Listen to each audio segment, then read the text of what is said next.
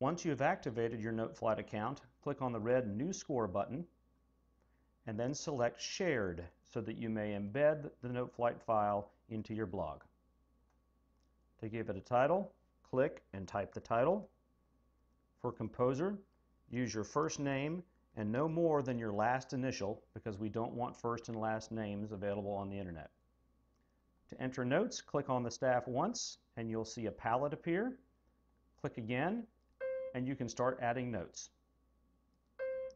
Clicking on the staff shows where you want the note and then you change what kind of note you want it to be. This is different than Finale Notepad. If you want to change the note, click on it and drag it where you want it.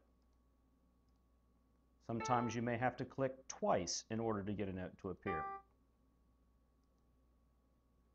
To play, you can either go down to the left corner and press play, or anytime you want to start from a specific measure, you can press play right above that measure.